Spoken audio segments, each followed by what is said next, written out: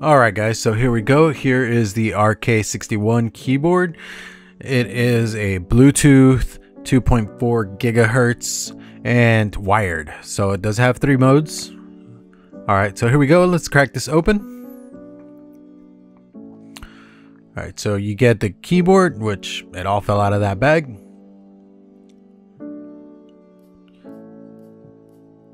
You get nice thick user's manual.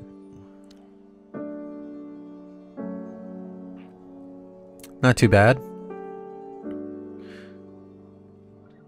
Then you get a aviator cable for USB-C. So if you want to like connect it and you don't have a cable available, you can use that.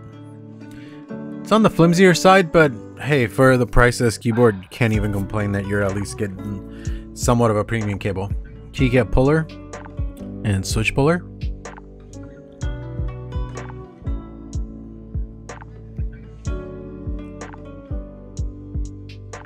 Some switches. That's all you get for the what comes in box.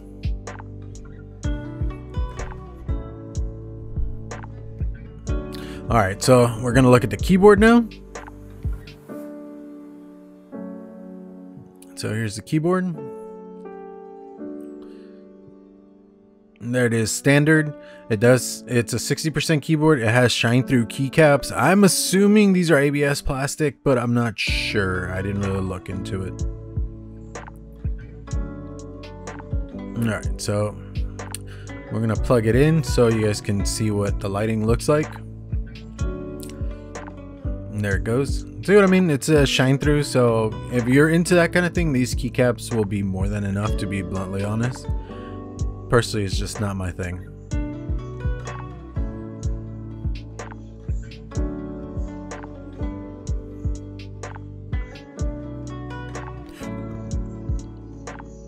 Alright, so we're going to do a quick sound test on this keyboard so you know what it looks sounds like stock.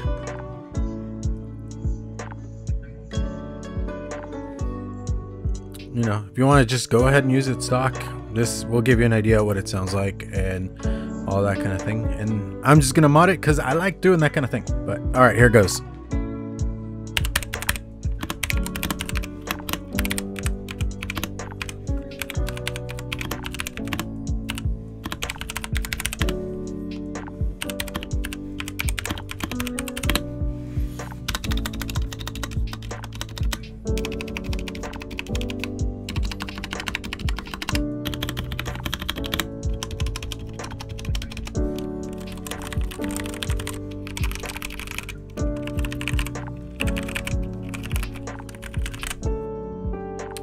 There it is. That's what it sounds like stock out of the box.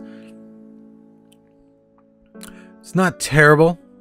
Personally, not my cup of tea, but I don't think it's terrible. Also, the, with the keycaps, with the shine through and all that, it does show where all the function keys are. So, like, you got like, to like change the lighting and stuff like that. You get function and that key right there or that kind of thing. Also, it shows the effort on the top if you can see it. Then there's a page up, page down, and all that. It shows you where all the keys actually play into the keyboard.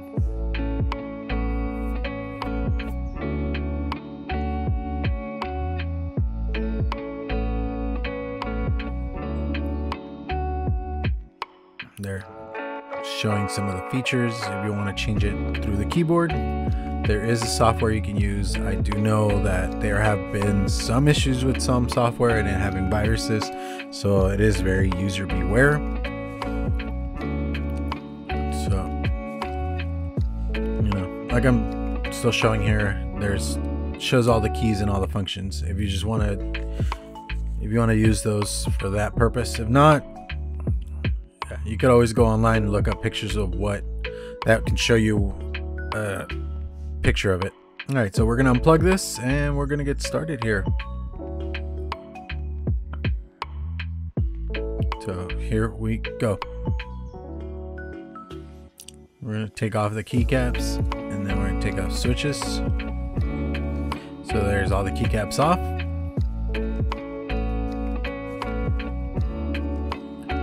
Switches are gone. That is a stainless steel plate, but that's what the keyboard looks like. These are north facing lights.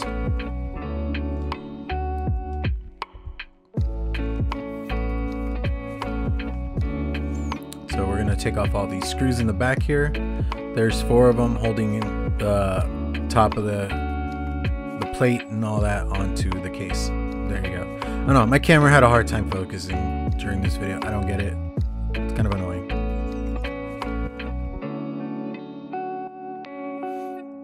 Yeah, like I said earlier, this has 2.4 gigahertz and Bluetooth, and it can go wired.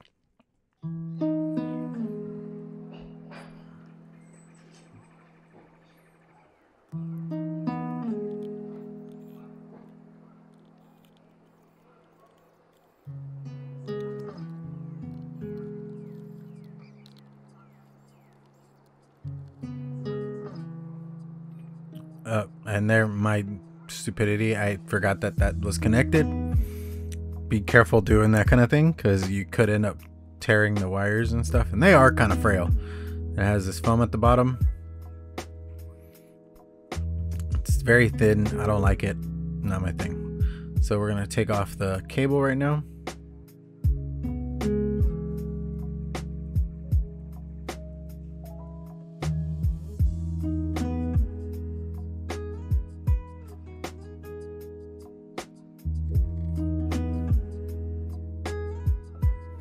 All right, so we got that off.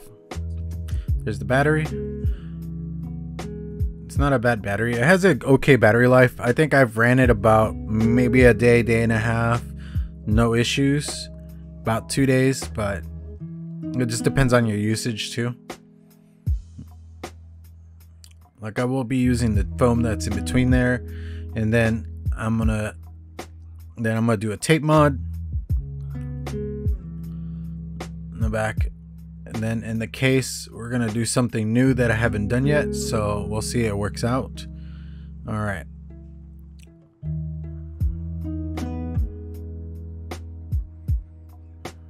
Yeah I was gonna do the tape mod first here and then we'll move on to the case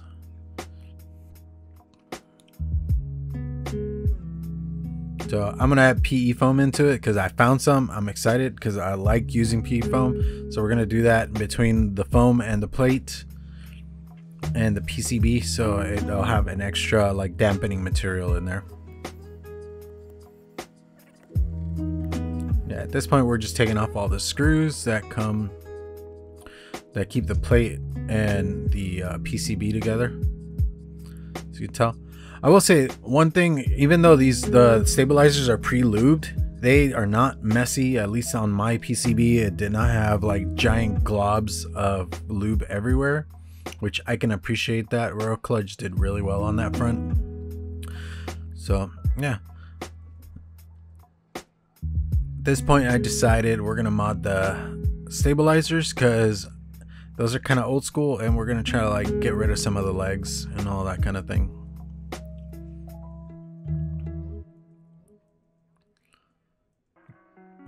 So uh, here we we're gonna take the stabilizers and mod them. This video ended up being a lot more than I was expecting to off the bat. I thought I was just gonna do the case mod, a tape mod, put it all back together, change switches, change keycaps, but no. So at this point we're taking out the stabilizers. And I did try saving as much of the pre-lube lube in there.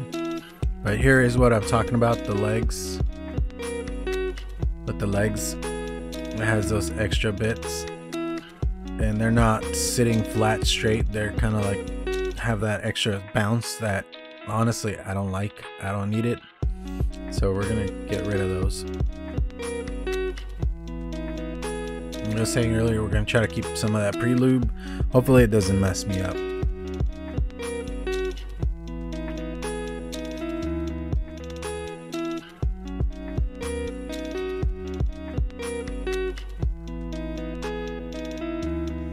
Alright.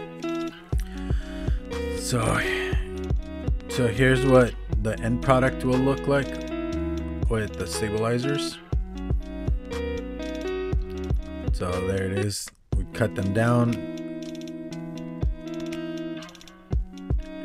And I'm trying to just remove some of the clackiness from it instead of keeping it more of a thock.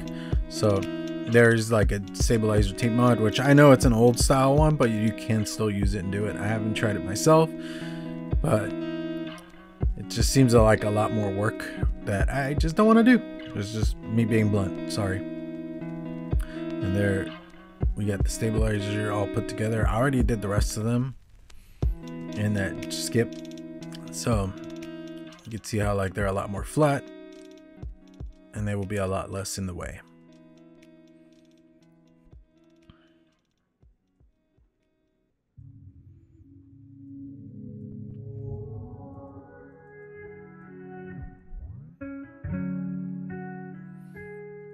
So it lays more flat with the stabilizing, uh, with the stabilizer housing and all that kind of thing. All right, so we got them all installed. Got it all modded out. This comes with like little foam pieces around the spacebar. Helps with the sound dampening. It's really nice.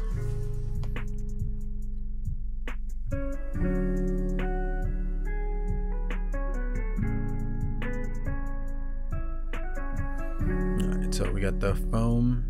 We're gonna do the PE foam now.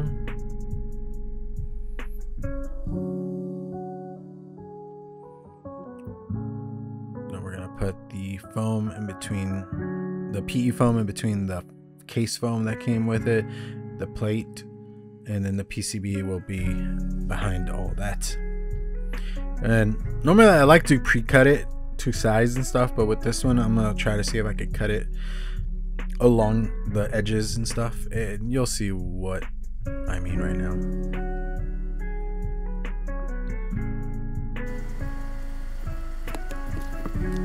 So we're gonna screw, we're gonna put the screws back on the back there, get those on. So yeah, this this screwdriver is supposed to be electric, and somehow I messed it up. If anybody knows how to fix these to where I could like actually use it properly, let me know. But now, if I put too much pressure, it won't let me cut into it, or won't let me use it to turn. It's really weird. I don't like it. All right, so here goes the cutting of the PE foam.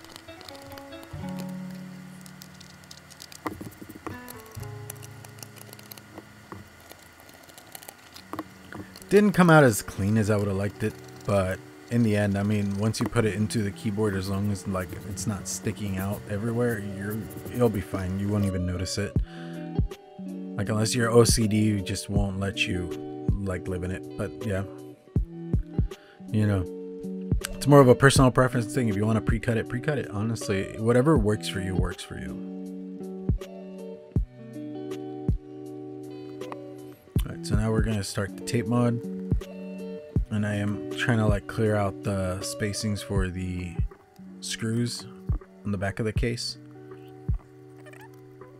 Then I'm also working around like where some of like the the USB port is at and where the um, the switches are for the turning on and turning off and stuff underneath the, the keyboard.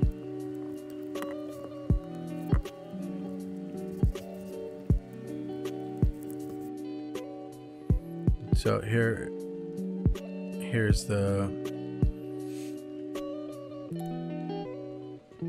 look at that. We got it all set up. Honestly, I like how much weightiness this got just from all this.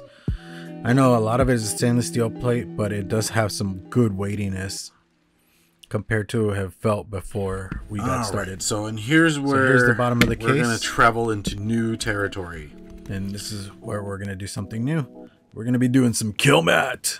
I have not done the Kilmat. I really been wanting to try this for a while, and I wanted to see how this would turn out. Hopefully, it goes really well. Not, I'm just excited to use the Kilmat.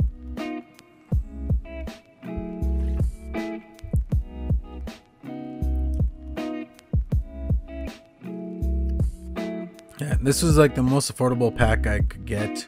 Uh, I'll put a link down below for it if you want to buy more, that's really a you call. But for now, I just decided with just like something small because I didn't know if I was gonna like this and how much I was gonna like it. I'm trying to get the holes kind of done up for the switches at the bottom so that way I'm not I'm not having like issues later which it was kind of like hard because then you had to match up where you did the holes and stuff and all that so do be aware when you're doing something like that how it will fit and where it's gonna fit. You can tell I did do a lot of futzing around with it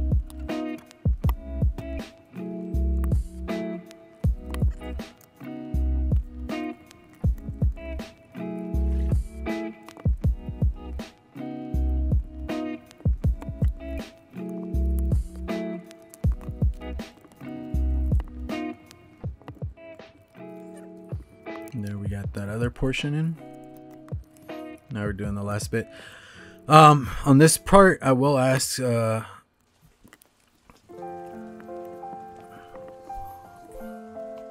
All right, so we got all the Kilmat put in place. I'm not gonna put anything in battery. If for some reason it bothers me not putting something over the battery, if you guys know if it's safe or not, let me know. I am curious whether it affects the sound and all that not too much so i'll give you that much right now as a spoiler. Um but it's one of those things of like i don't know just i don't feel safe putting the Kilmat over that. But if you guys can let me know if it is or not i'd be more than thankful on that front because you know I, it's my first time trying it. So now we're screwing everything back up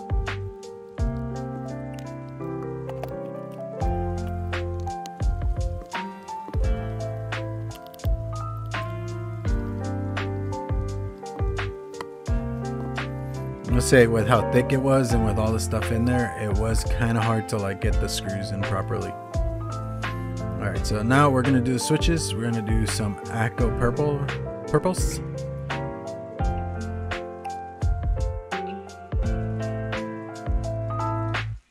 There it is. So that's what the jelly purples. We're liking that. We're gonna do these XVX PBT keycaps. These are the purple gradients. Trying to get that into camera was not easy. But these are our purple gradient. And they are nice. I've been wanting to use these for a while and I haven't had a good excuse. Alright, so there we go. Get our keycaps on.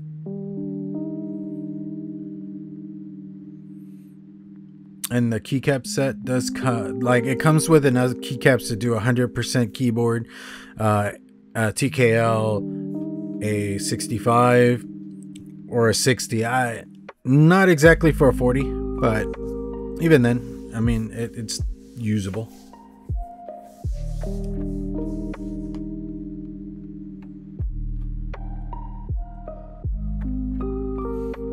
said earlier, I'm not a fan of shine throughs. I just like how this looks a lot better. I'm to change the color to something that's purple so it matches with the keycaps. So there you go. Mm -hmm. I'm liking that. I'm liking it. Now we're to do the sound test and show you how it goes. And then we're done with the video. Uh, if you guys have any more questions or answers for me, let me know. Here's the sound test.